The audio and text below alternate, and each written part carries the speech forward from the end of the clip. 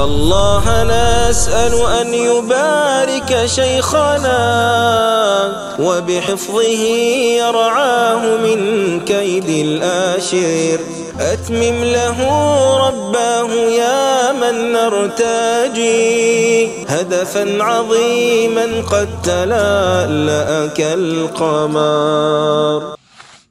باب القتل بالقسامة.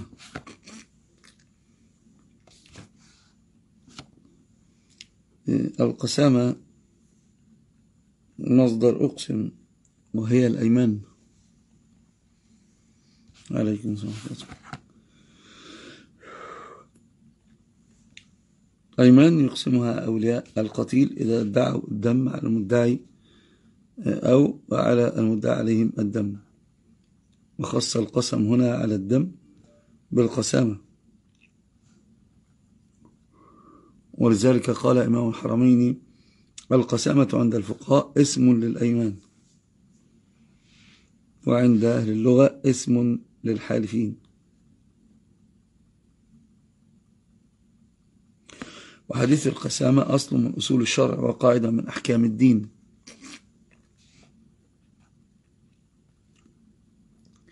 عليكم السلام عليكم السلام عليكم السلام.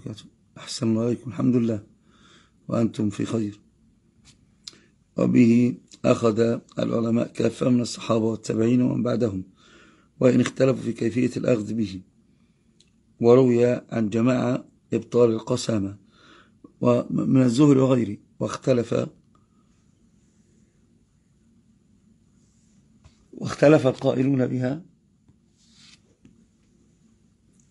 فيما إذا كان القتل عمدا هل يجب القصاص بها أم لا؟ فقال جماعة من العلماء يجب وهذا قول مالك وأحمد. الحمد لله رضي الله عنهم جميعا.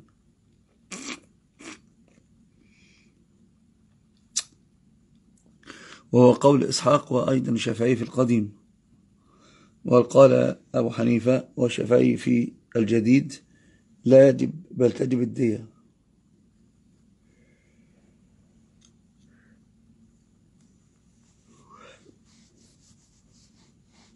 واختلف في من يحلف في القسامة فقال مالك والشافعي والجمهور يحلف الورثة. ويجب الحق بحلفهم. جيد الحمد لله. المهم أنكم كان لكم عذر وما كان تقصيرا وهذا فضل. يسر الله لكم أمركم وفتح عليكم وشكر لكم.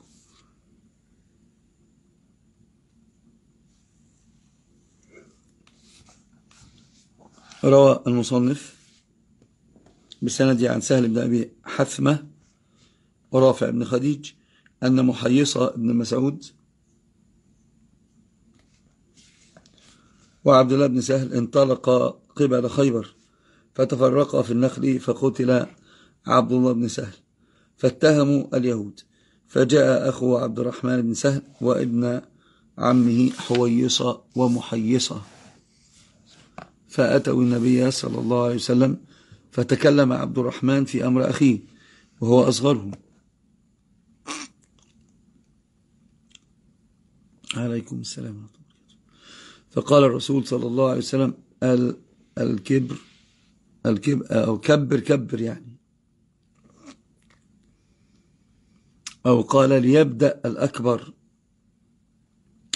فتكلم في أمر صاحبهما فقال رسول الله صلى الله عليه وسلم يقسم خمسون من خمسون منكم على رجل منهم فيدفع برمته. وهذا ما ما تمسك به ما قال بالقصاص. قالوا أمر لم نشهده كيف نحلف؟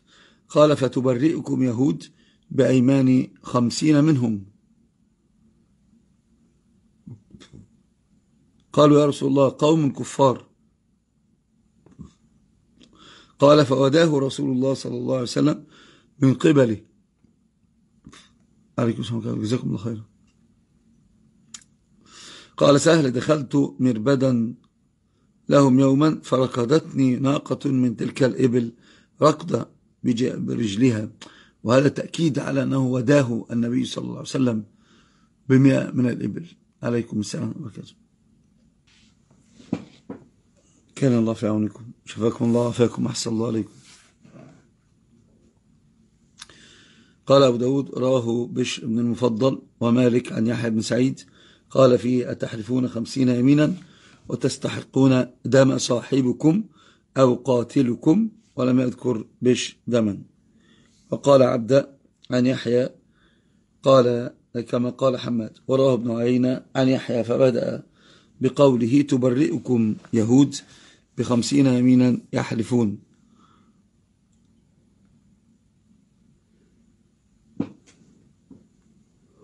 والقصة أن عبد الله بن سهل قتل على مشارف اليهود وكان قد ذهب هو وابن عمه جوعا يبحثون عن الطعام. فذهب ابن عمه ثم رجع فوجده ملقى على حفرة فقال ما فعل ذلك إلا ما فعل ذلك إلا اليهود.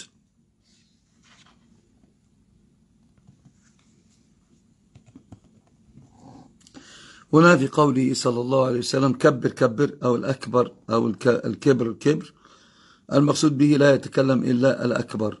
وهذا كما قلنا بأن النبي صلى الله عليه وسلم كان من دأبه أن يقدم اليمين.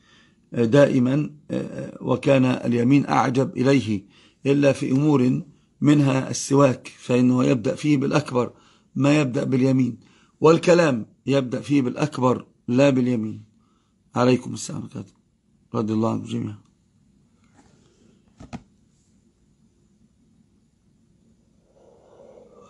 فمن الأدب تقديم الأسن والأكبر ولأنه أحكم في المسألة ولأنه أوجز في الكلام. ولأنه يصل إلى المفيد.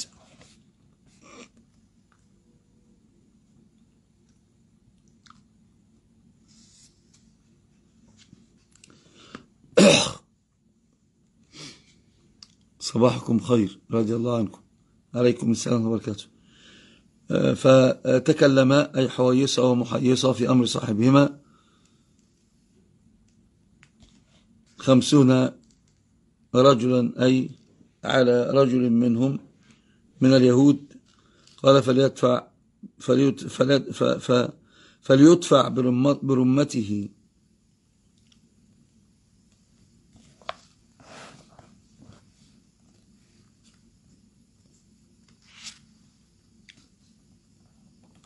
وفي قول يدفع برمته هذا تمسك به من قال عليكم السلام عليكم أحسن الله عليكم. تمسك به من قال بأنه يستحق الدم. فهو دلالة للحنابلة وهو قول الشافعي في القديم. إن القسامة يثبت فيها القصاص.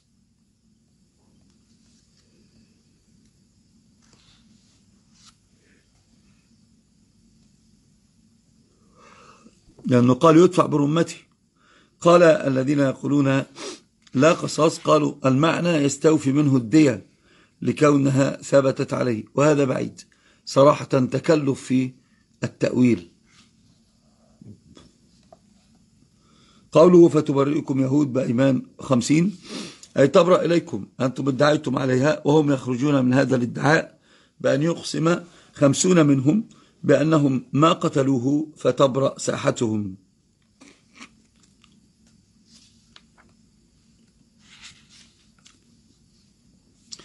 فقالوا يا رسول الله اليهود قوم كفار. أي كيف نقبل أيمانهم؟ ونحن نعلم أنهم كفروا بالله. من يثق في أمثال هؤلاء وهم وهم يقسمون. فلما قالوا ذلك علم النبي أنهم لن يقبلوا أيمانهم.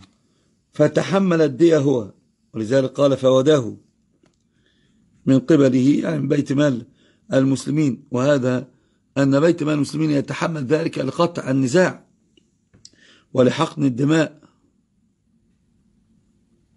وإصلاح ذات البين فإن أهل القتيل لا يستحقون إلا أن يحلفوا أو يستحلفوا المدعى عليهم.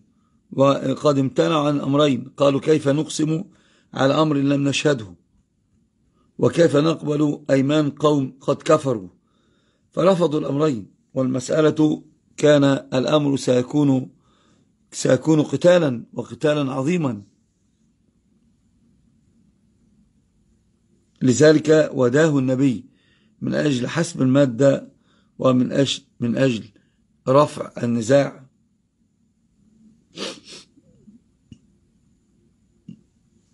يقول, يقول سهل بأنه ربطت أنيطت الإبل وهي مئة من الإبل على ساحتهم.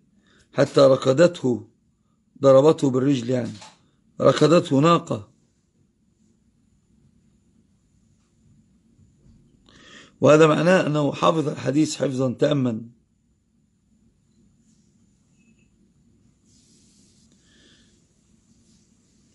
وفي قوله أتحلفون خمسين يمينا وتستحقون دم صاحبكم أو قاتلكم؟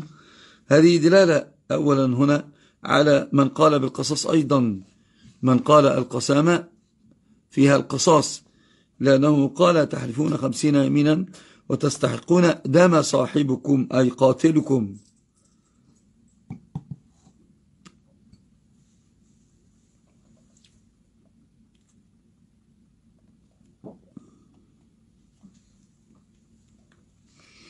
استدل به أحمد على أنه به بها القصاص وبها الدم لأنه لن تسكت سائرتهم إلا بذلك.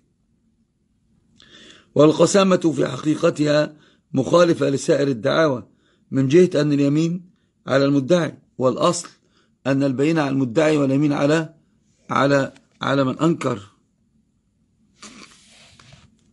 صلى الله عليه وسلم. أحسن الله عليكم. عليكم. السلام وبركاته.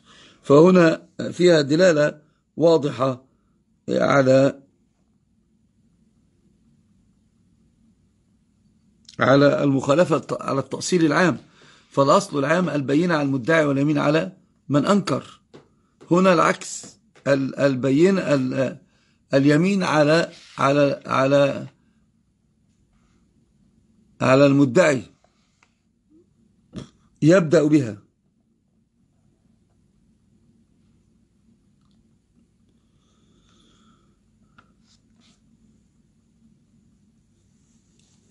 وفي قول ابن داود قال عبد أن يحيى يعني ابن سعيد. في رواته كما قال حماد غير أنه لم يقل لم يذكر الاستحقاق.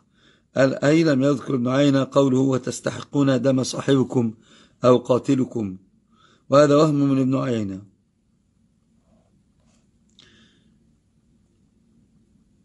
في قوله تباريكم يهود بخمسين يمينا يحلفون ما كان الأمر عليهم أصالة. اليمين على على الأنصار. فلما رفضوا وقالوا كيف نقسم على شيء لم نشهده. قال إذا تبرئكم يهود بخمسين أمينا. قال قالوا قوم كفار يا رسول الله. القوم على كفر كيف نصدقهم يعني؟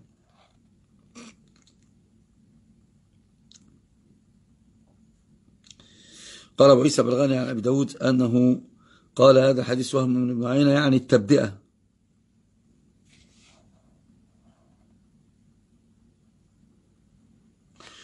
وقال الإمام المدري قال الشافعي إلا أن ابن عينة لا يثبت إقدام النبي صلى الله عليه وسلم والأنصاريين في الأيمان أو يهود. فيقال في الحديث إنه قدم الأنصاريين. فيقول, فيقول وهو ذلك وما أشبهه هذا. حديث الإمام الشافعي أيضا عن ابن عينة أنه بدأ بالأنصار وقال وكان سفيان يحدثه هكذا. وربما قال لا أدري أبدأ رسول الله بالأنصار في أمر يهودي. فيقال له إن الناس يحدثون أنه بدأ بالأنصار. قال فهو ذاك وربما حدثه لما شك وذكر البيهقي في السنن الكبرى لذلك. أن البخاري ومسلم أخرج هذا الحديث من حديث الليث بن سعد وحماد بن زيد وبشر بن المفضل عن يحيى بن سعيد واتفقوا كلهم على البداء بالأنصار. وهذا الأصل الصحيح أنه في القسامة يبدأ فيه بالمدعي لا المدعى عليه. وطبعا القسامة لابد لها من لوث. اللوث يعني هناك أثار يعني يكون مات في قريتهم آه، آه، هناك دماء تتناثر ورجل واقف أمام الجثة. فممكن أن نقول هذه هذه اللوث اللوث اللوث هذا هو الذي يجر إلى صدق القسامة والعمل بها.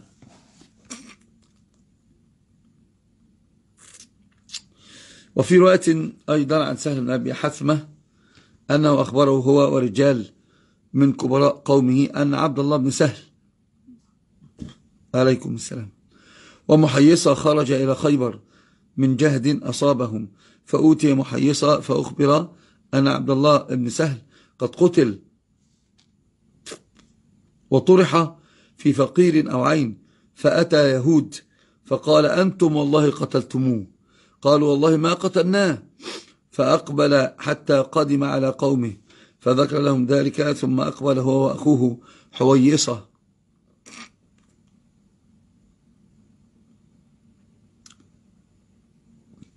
وهو أكبر منه وعبد, بن أو عبد الرحمن بن سهل. فذهب محيصة ليتكلم هو الذي كان بخيبر فقال له رسول الله كبر كبر صلى الله عليه وسلم. يريد سين فتكلم حويصة ثم تكلم محيصة. فقال رسول الله إما أن يدوا صاحبكم الدية يعني وإما أن يؤذنوا بحرب. إما يدوا صاحبكم وهذا كأن النبي حصر الأمر في الدية فمنع القصاص وهذا الذي يتمسك به الشافعية والحنفية. وإما أن يؤذنوا بحرب فكتب إليهم ورسول الله صلى الله عليه وسلم بذلك فكتبوا إن والله ما قتلناه فقال رسول الله صلى الله عليه وسلم حوي لحويصة ومحيصة وعبد الرحمن أتحلفون وتستحقون دم صاحبكم؟ قالوا لا. قال فتحلف لكم يهود. شوف بدأ بالأيمان بالأنصار. قالوا ليسوا مسلمين. فوداه النبي صلى الله عليه وسلم يعني دفع الدية من عنده. فبعث عليهم مائة ناقة حتى أدخلت عليهم الدار. قال سهل لقد ركضتني منها ناقة حمراء.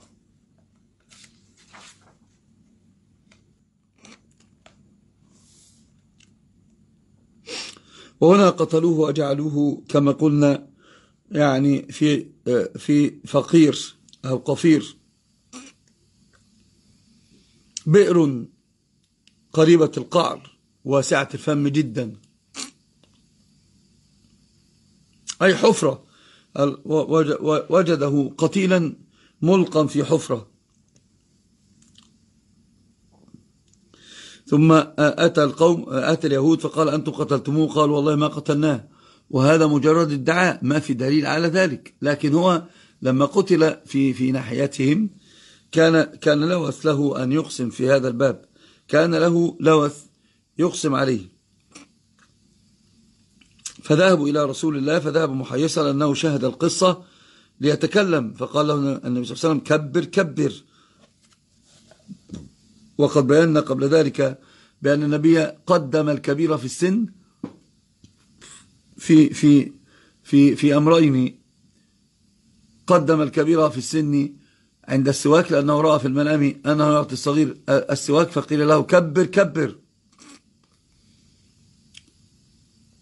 وقدم الكبير في السن أيضا للكلام. نعم.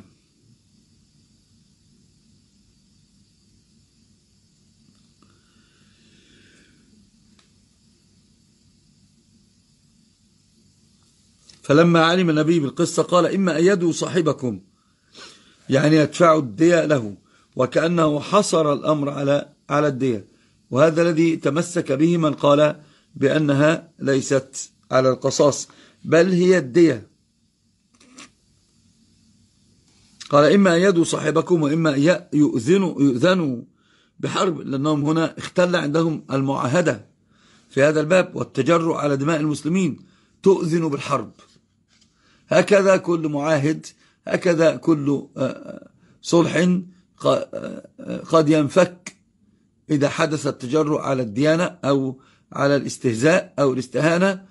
بتعظيم مقدسات الدين أو بالتجرع على دماء المسلمين. قال وإما أن يؤذنوا بحرب. نعم. فإن الله, سي... فإن الله ورسوله يحاربونهم لأنهم تجرأوا على الدماء المسلمة. كان في الإسلام عز. الله المستعان. فقال الأنصار يعني لو أقسموا كيف نصدقهم وإياكم؟ فقال ليسوا فقالوا ليسوا مسلمين يا رسول الله. يعني كيف نقبل أيمانهم؟ إنهم يقسمون قد كفروا بالله فكيف نقبل أيمانهم؟ فوداه أي أعطى ديته حتى أدخلت يعني أو قال هذه الناقة. وهذا إثبات لطلب الحفظ في هذا الباب.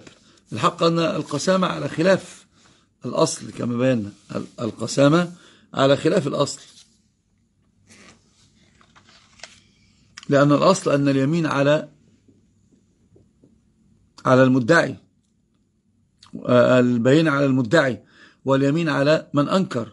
هنا يجعل النبي صلى الله عليه وسلم اليمين على المدعي بل وخمسين يمينا. نعم.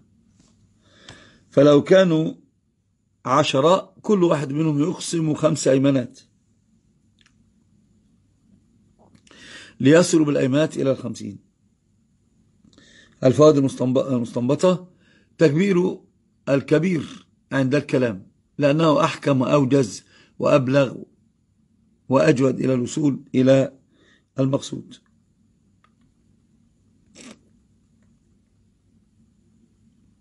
معاهدات أهل الكفر تنحل إذا استهزأوا بالدين أو تعدوا على دماء المسلمين. ديننا دين العدل. ولما قالوا للنبي صلى الله عليه وسلم يا رسول الله يعني إنهم يهود كيف نقبل أيمنهم وداه النبي صلى الله عليه وسلم من بيت مال المسلمين من أجل حسم المادة وسد الزريعة لذلك جاز أخذ الزكاة في هذا الباب من أجل, من أجل حسم المادة وسد الذريعة وإصلاح ذات البين وحفظ الدماء. هذه شريعتنا الغراء. لو في أسئلة تفضلوا. ولشيخنا همة علت الثريا فنالت من فنون الدين ريا. ولشيخنا همة علت الثريا فنالت من فنون فقه كسقي الماء كانا وتلك عقيدة السلف النقيا وتلك عقيدة السلف النقيا فأخلص نية ربي وبارك على شيخ نبيل الخلق والضاح المحيي